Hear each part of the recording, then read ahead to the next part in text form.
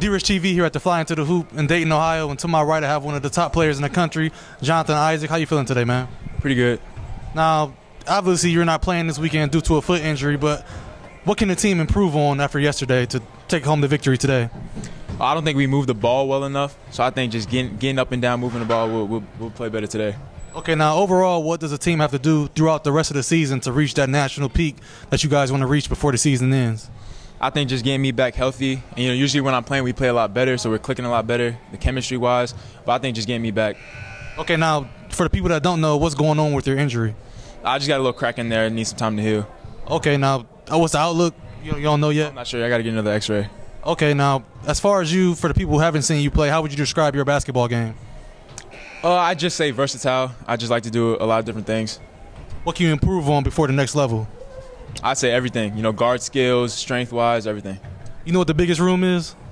Biggest room? Yeah, the biggest room in the world. No. Is the room for improvement, so you can always improve on everything. Now, we all know that you're committed to Florida State. What made you decide to commit there? Uh, just my relationship with the coaches, relationship with the people that, that are going there with me, and I just think it's a great situation. Uh, what do you think about the program so far? Uh, Bacon went there last year. Uh, numerous of top star guys are going there. What's been a transition as far as getting those guys to go to Florida State? I just think I just think the coaches, the coaching staff, you know, the program is definitely on a rise. I just think the coaching staff is great.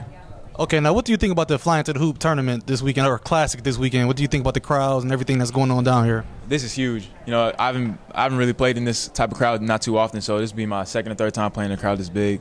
Okay, now how do you think that your game will transition to the next level? I don't really know. I think I got I got a lot of things I got to work on and to get to that next level. Even though I'm, I'm, I'm on my way there, so I think just I got a lot to work on.